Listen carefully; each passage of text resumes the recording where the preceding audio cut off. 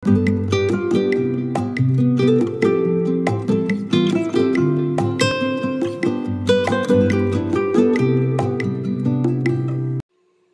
semuanya, yaitu kelas 11 IPA. Kali ini kita ketemu untuk menghitung harga KC dalam reaksi kesetimbangan. Simak yuk. Rumus KC tentunya kalian harus kuasai terlebih dahulu. Definisinya masih ingat? Yaitu Oke, KC adalah perkalian antara konsentrasi cacat produk dipangkatkan koefisien dibagi dengan perkalian konsentrasi cacat reaktan dipangkatkan koefisien reaksinya. Tentunya ruas kanan dibagi ruas kiri ya, jangan lupa dan jangan terbalik.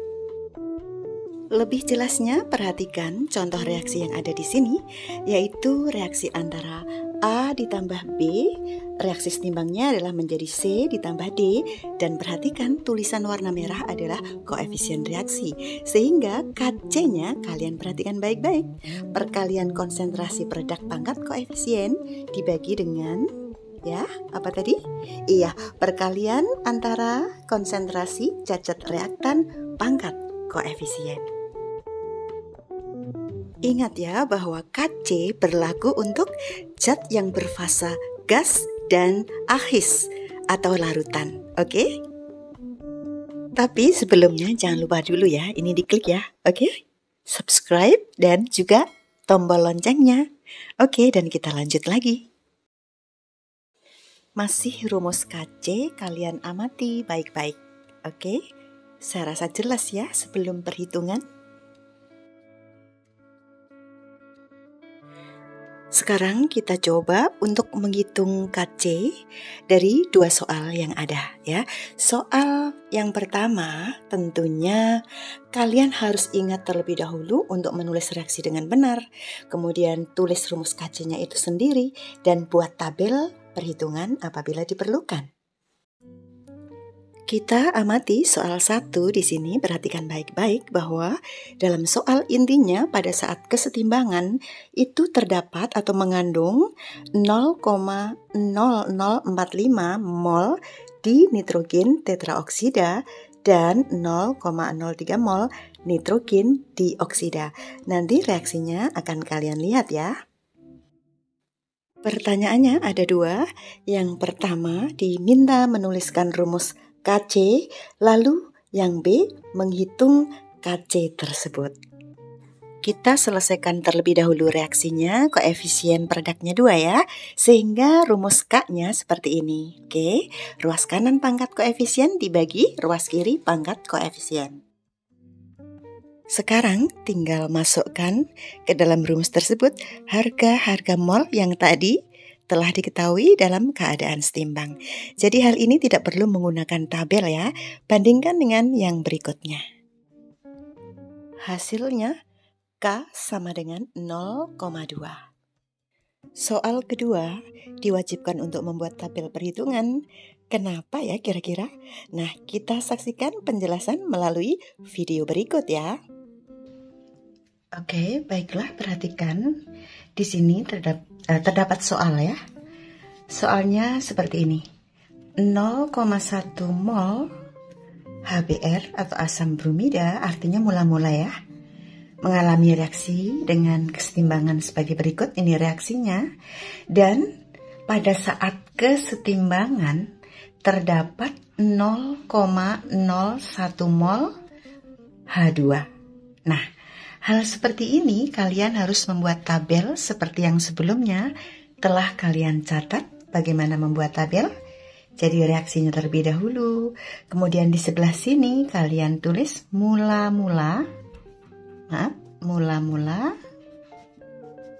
Oke, kemudian titik dua ya. Jangan sampai melebihi ruang asam bromida. Kemudian di sini bereaksi Oke, bereaksi juga titik dua. Di sini jadi ada ruang ya. Di sini juga ada ruang.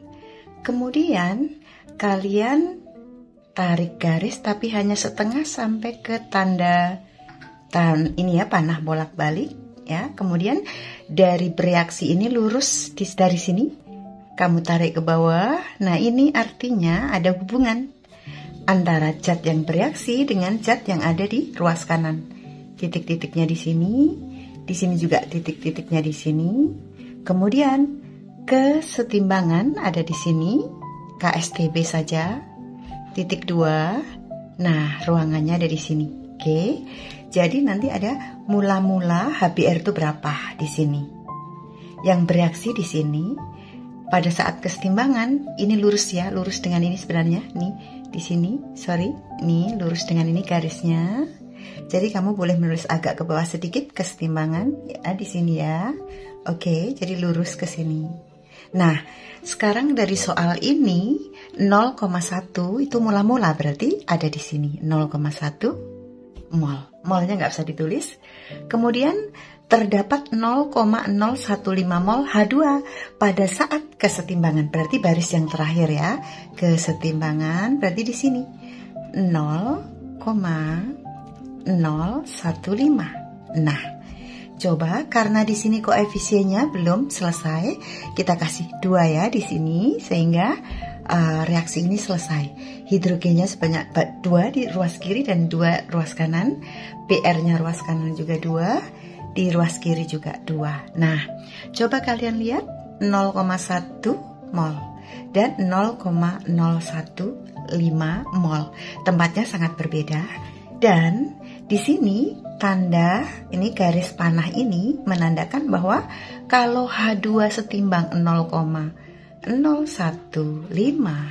mol, maka ini bisa dicari berdasarkan koefisien reaksi. 2 per 1 kalikan dengan 0,015 sehingga di sini 0,03 ya. Oke 0,03 nah berarti di sini BR2 setimbang tinggal lihat koefisiennya kan sama berarti sama 0,015 Lalu setimbang untuk HBR-nya berapa? Tinggal mengurangi 0,1 dikurang 0,03. Jadi 0,07. Nah, sekarang kalian sudah memiliki mol masing-masing yang setimbang. HBR setimbang 0,07, H2 setimbang 0,015, dan BR2-nya setimbangnya adalah 0,015. Kemudian kalian masukkan ke dalam rumus K. Gimana rumus K-nya? Yaitu K sama dengan konsentrasi H2 pangkat koefisien kalikan konsentrasi BR2 pangkat koefisien dibagi konsentrasi HBR pangkat koefisien. Oke, seperti yang telah kalian pelajari rumus K-nya ya. Jadi tinggal memasukkan nanti bahwa konsentrasi daripada HBr-nya 0,07, H2 0,015, BR2-nya 0,015. Oke? Nah, anak-anakku, mari kita masukkan harga K-nya, KC-nya setelah tadi dalam keadaan setimbang kita sudah mengetahui berapa mol masing-masing zat yang ada di dalam reaksi ini.